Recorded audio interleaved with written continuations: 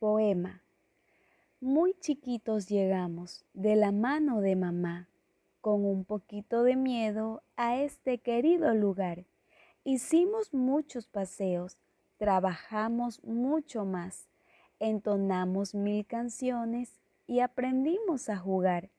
Ya nuestro año ha pasado del querido preescolar, ya somos niños más grandes y nos vamos a estudiar hoy que el día ha llegado de decirnos un adiós, con un beso y hasta pronto que nacen del corazón.